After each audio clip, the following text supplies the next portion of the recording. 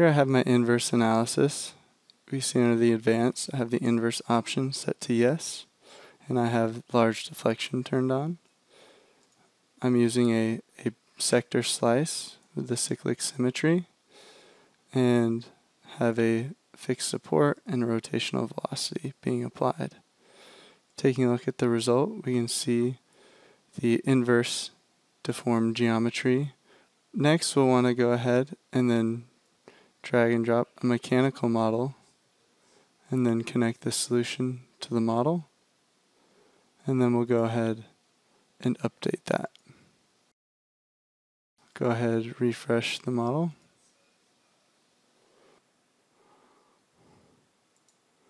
And we'll open that up.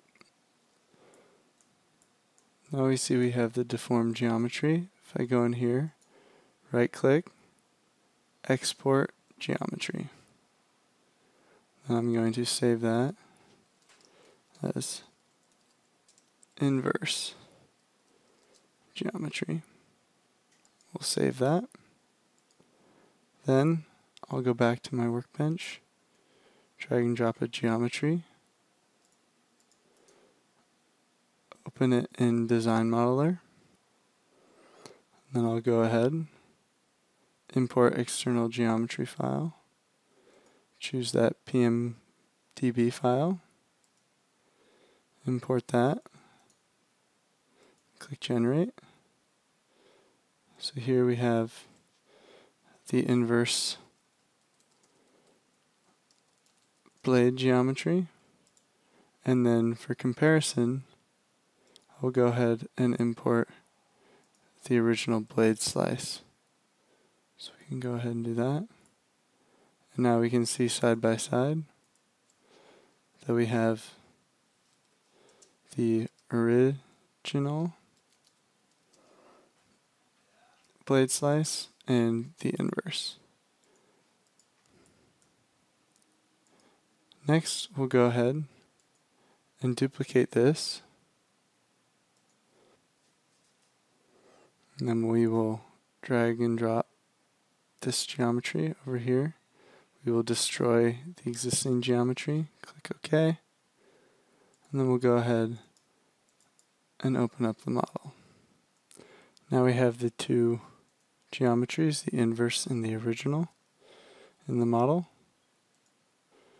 And we have name selection set up to automatically scope the low and high boundaries. I'll generate the mesh.